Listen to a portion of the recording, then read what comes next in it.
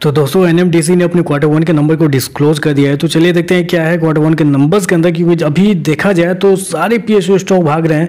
बस एनएमडीसी है जो अपने लेवल को छोड़ने को तैयारी नहीं है। चलिए नंबर देखते हैं, उसके बाद देखते हैं क्या शेयर भागने को तैयार होगा या किस वजह से शेयर के अंदर गिरावट आपको देखने को मिली चलिए देखते हैं।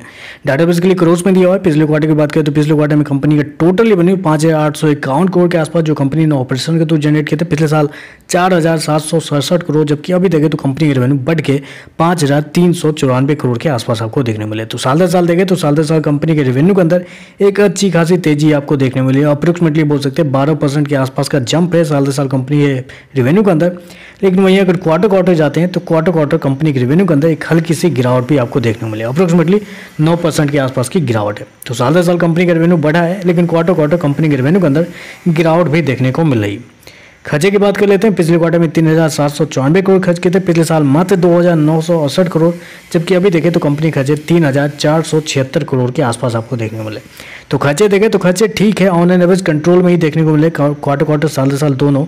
जबकि मैं आपको बता दूँ, पिछले साल और पिछले क्वार्टर में कंपनी को फ़ायदे हुए थे चेंज इन इन्वेंट्री के नाम पे पिछले क्वार्टर में 420 करोड़ के आसपास, पिछले साल भी 400 करोड़ के आसपास, जबकि इस क्वार्टर में कंपनी को छिहत्तर करोड़ का लॉस लगा है। तो आप याद रखिएगा 500 करोड़ के आसपास का डिफरेंस यहीं पे क्रिएट होता हुआ देखने को मिला। अगर वो कंपनी इस क्वार्टर में बचा ही रहती तो क्या गजब के नंबर आते। फिर भी देखें कंपनी के नंबर क्या है, वो देख लेते हैं।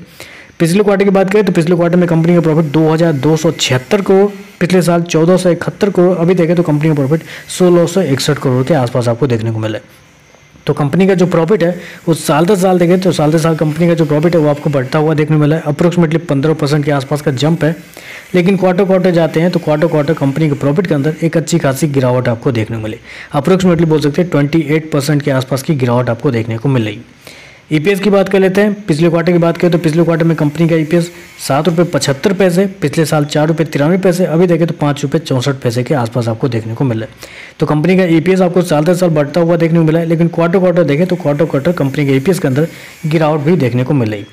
मैं आपको याद दिलाना चाहूँगा, पिछले क्वार्टर में कंपनी के एक्सेप्शनल आइटम में भी कुछ फ़ायदे हुए थे। एक हज़ार दो सौ सैंतीस करोड़ कंपनी को फ़ायदे हुए थे।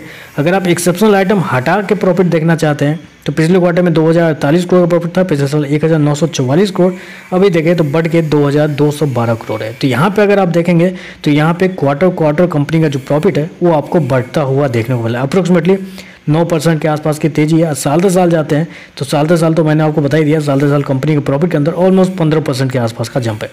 तो यहाँ पे एक अच्छी बात ये निकल के आ रही है कि कंपनी का रेवेन्यू क्वार्टर क्वार्टर गिरा है, लेकिन उसके बावजूद कंपनी का जो प्रॉफिट है, वो आपको ऑपरेटिंग प्रॉफिट बढ़ता हुआ देखने को मिला है। तो ओवरऑल देखें तो मेरे हिसाब से नंबर पॉजिटिव साइड पे जाते हुए देखने को मिला है।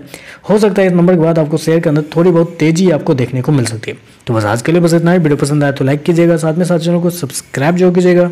धन्यवाद।